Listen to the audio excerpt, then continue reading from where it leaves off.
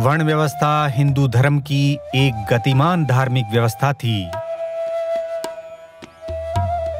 विदेशी शासकों की अमानवीय गुलामी के कारण वर्ण व्यवस्था का मूल स्वरूप विकृत हो गया।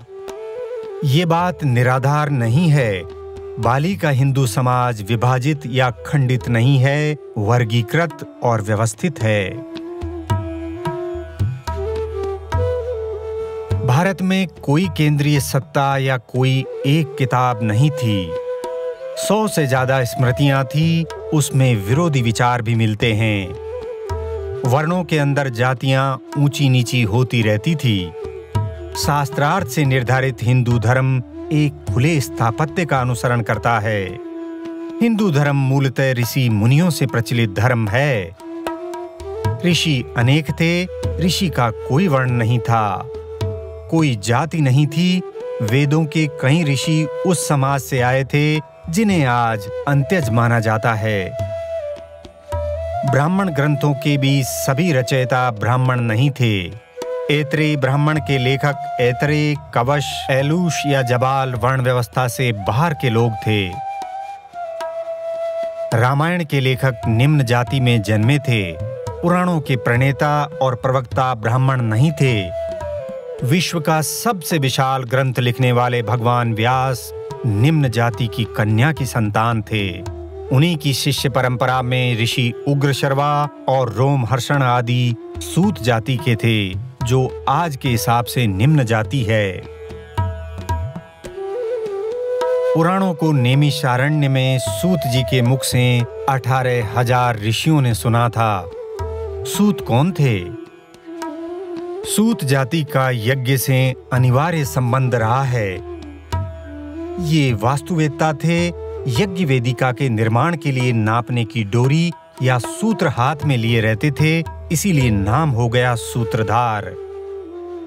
यही सूत नाटक के भी सूत्रधार हो गए, क्योंकि यज्ञ के समय वे ही अभिनय द्वारा आख्यानों का प्रस्तुतिकरण करते थे। नृत्य के लिए सूत को और गायन के लिए शैलूस को बुलाने का निर्देश है।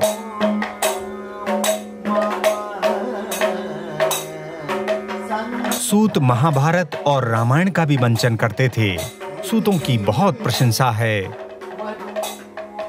सूतों का सहयोग अनेक कारीगर और शिल्पी करते थे। नाटक में काव्य, संगीत, नृत्य, चित्रकला और मूर्ति कला का समावेश है।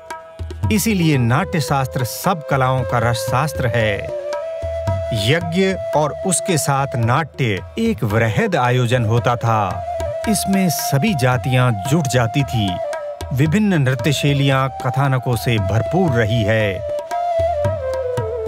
कथक का अर्थ है कथा का कथन। यज्ञ और मंदिरों के विनाश ने कथक को कोठों पर और जातियों को निम्न अवस्था में पहुँचा दिया। यज्ञ से लेकर मंदिर तक और जन्म से लेकर मृत्यु तक हर जाति एक दूसरे की पूरक रही है। आज जेनेटिक अनुसंधान ने सिद्ध कर दिया है कि भारत की निम्न और उच्च जातियाँ एक ही है। मनुस्मृति ने शिल्पी के हाथ को पवित्र माना है।